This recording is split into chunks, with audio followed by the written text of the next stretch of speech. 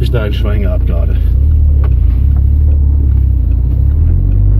Das waren bestimmt irgendwelche Flüssigkeiten.